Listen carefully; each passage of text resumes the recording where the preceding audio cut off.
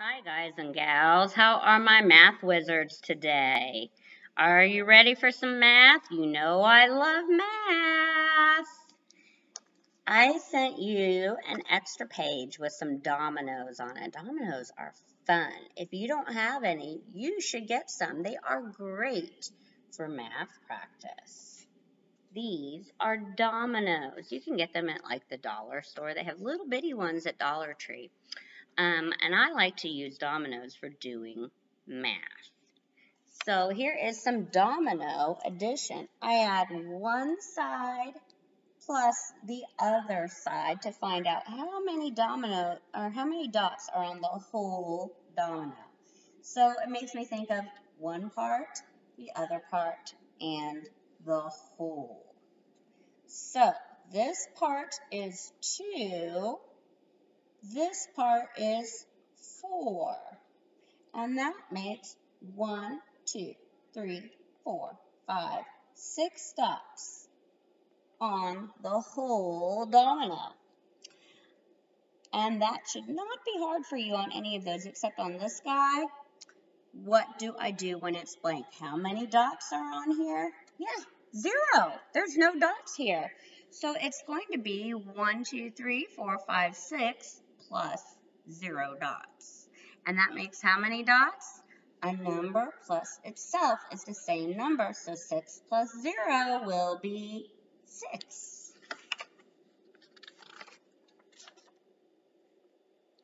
I sent you this page. You have one today and one tomorrow. And what I want you to do for each of these, it should be easy peasy lemon squeezy. I want you to write the number that is 1 less.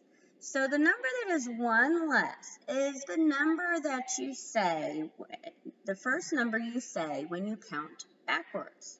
Or if you count forward, it's the number before this number. So 1, 2, 3, 4, 5. 4 comes before 5, so that is 1 less.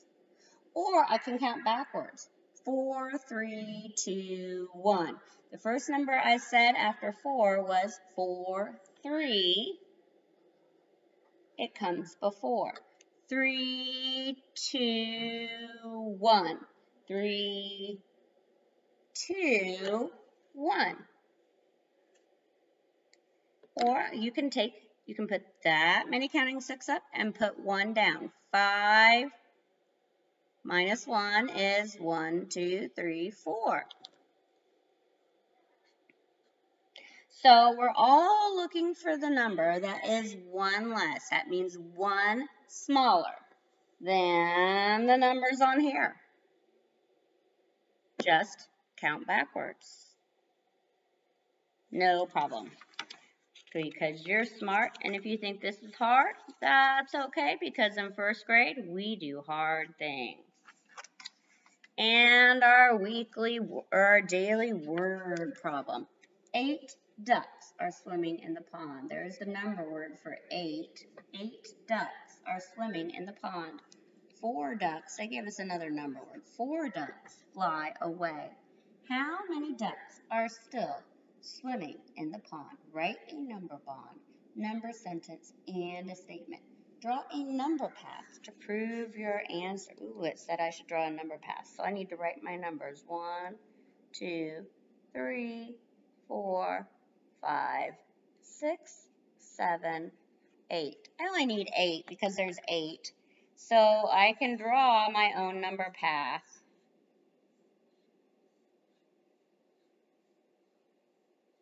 Look, there, I did it.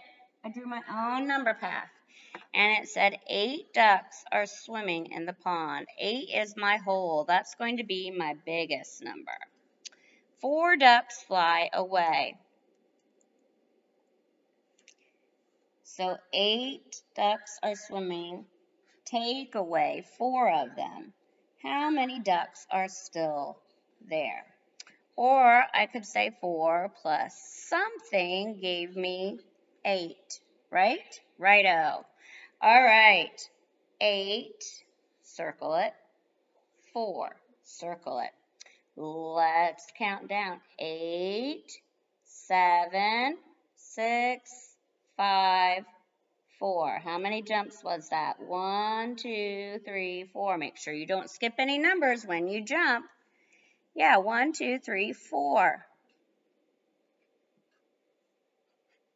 Ooh, I know my doubles facts. 4 plus 4 is 8. So I can say 4 ducks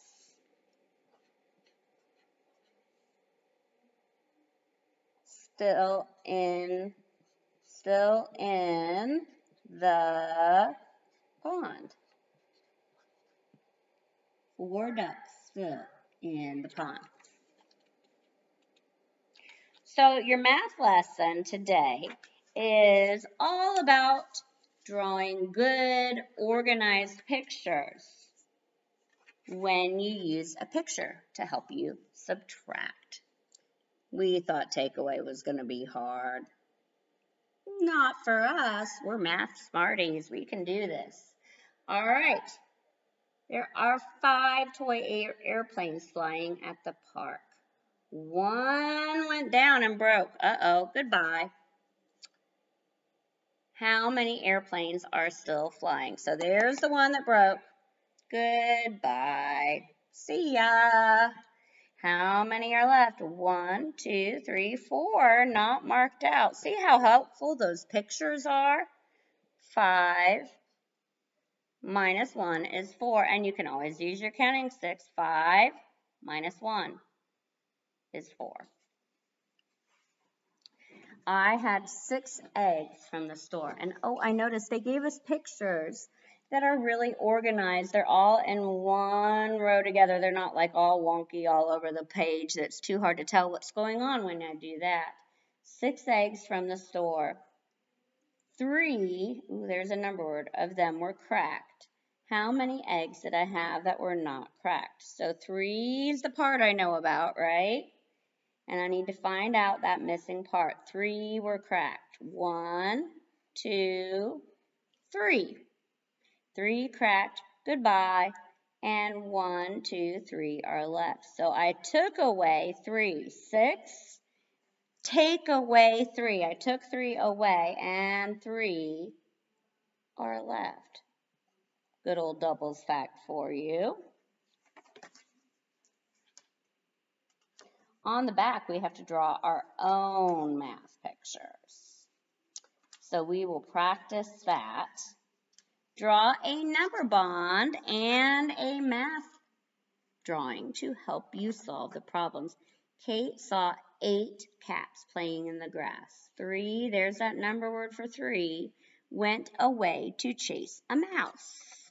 I'll put that a little closer for you how many cats remained in the grass? So there were eight, and three is part.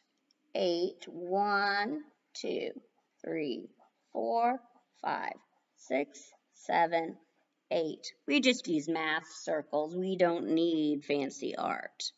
Unless you want to be doing math all day long. All right, three went away. Bye-bye, three. One, two, three. Goodbye. And we have one, two, three, four, five left over. So I had eight mice. I took away three. Another word for uh, subtraction is take away. Eight, take away. Three mice. Left me one, two, three, four, five mice. Five, or five cats. So sorry, five cats still in the grass. There were seven mango slices. Two of them were eaten. How many mango slices are left to eat? Seven, two.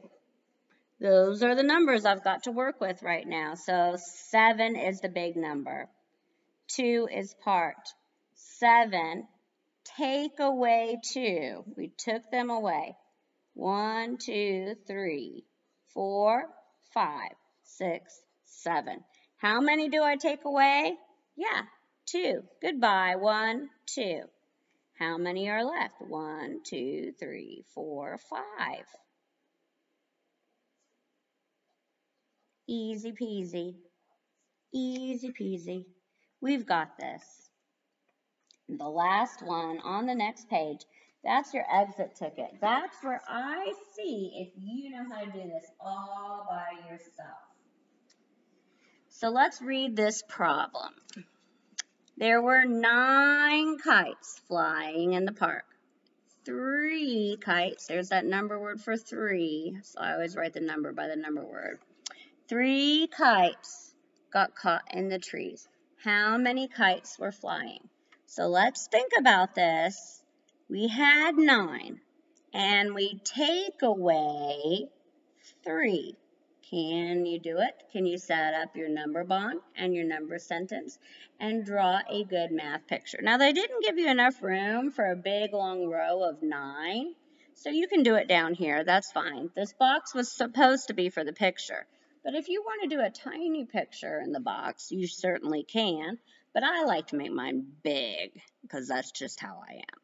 So go right ahead and make a math picture down there. As long as your page has a picture on it of quick math circles,